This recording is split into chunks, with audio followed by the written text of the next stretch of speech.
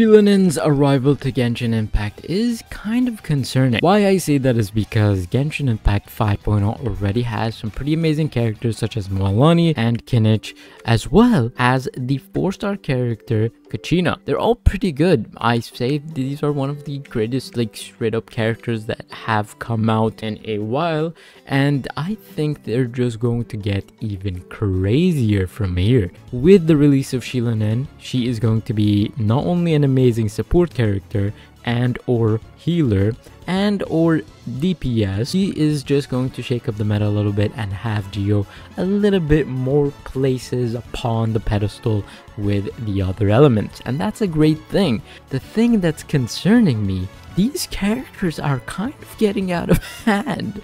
They're getting a little too good, and I'm seeing a kind of an upward trend in these characters and them getting better and better with each because 5.1 is coming and Xilonen is going to be even better than Mualani that we've already had, than the Kinich that we've already had, and they're just getting better and better. In fact, I haven't seen a character that does as much as Xilonen in a really long time. Not talking about any of the Archons like Raiden or Nahida or whoever may be, um, Furina especially, right? Uh, I'm not talking about them, okay? Those are Archons. Of course, it'll be pretty good and powerful and strong and have a lot of support.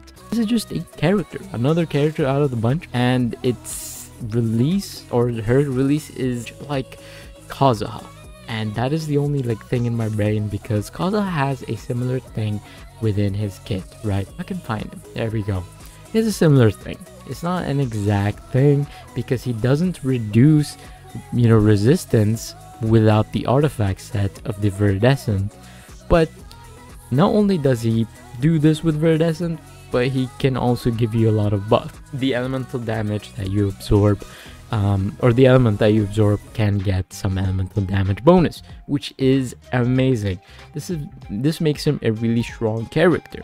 Genshin hasn't released a character similar to this in a while until Xilonen. Xilonen is going to provide what the Viridescent pretty much provides, except she's going to do it on her own, which means it's going to be pretty awesome to run Xilonen and Kazuha in the same team. But the only problem is that they won't synergize together. So there is that.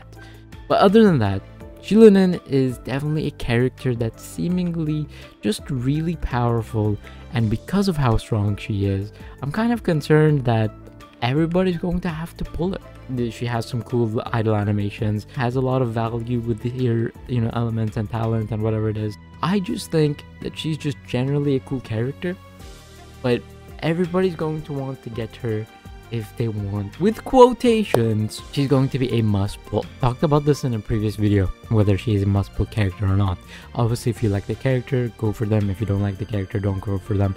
That's the staple. But if you want your character to deal the absolute most amount of damage. I think Xilonen is going to be in the team that just provides that, just provides that amount of support. Will make you clear whatever content you want. That is already pretty much clearable and very easy, by the way, and just that much easier. And I think with potential release of another game mode that is more challenging than what we have now, that would be nice. But without that, there is no reason to pull on any other character other than the fact that you like Xilonen is definitely a character that makes me wonder what kind of characters we might see in the future. In fact, it might make me question whether Mavuika is going to be the most powerful Archon they release yet. Because she's going to have a Night Blessing like we do with all the rest of the Natlan cast, and Night Soul Blessing is pretty powerful, albeit it needs to be inside of Natlan, but the Night Soul Burst can be in any field, in any type of scenario, and even in the Spiral Abyss, it can be activated. So yeah, it's definitely a concerning thing for me, but I think everybody is generally happy. I think everybody wants to see more characters do this, and that is pretty cool to, you know, to see itself. And I think it's an excellent, excellent thing that they're Genshin are finally being a little bit more confident and releasing cool new mechanics, new types of characters, a lot of movement, just something different that we haven't seen in a really long time from the game, and that is That is a definite W. That is a definite, definite W. I think this type of trend should continue. Okay, I'm not saying should power creep. Uh, maybe not do that, but definitely make characters that are unique, that do something of value, and they just have some sort of ability in the overworld.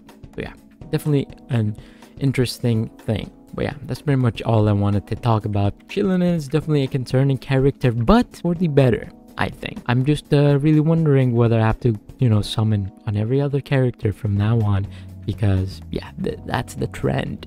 that's the trend that seems to be occurring here. That's pretty much all I wanted to talk about. Are you guys going to be summoning for Shilin? Let me know in the comments. I'll see you guys in the next one very soon.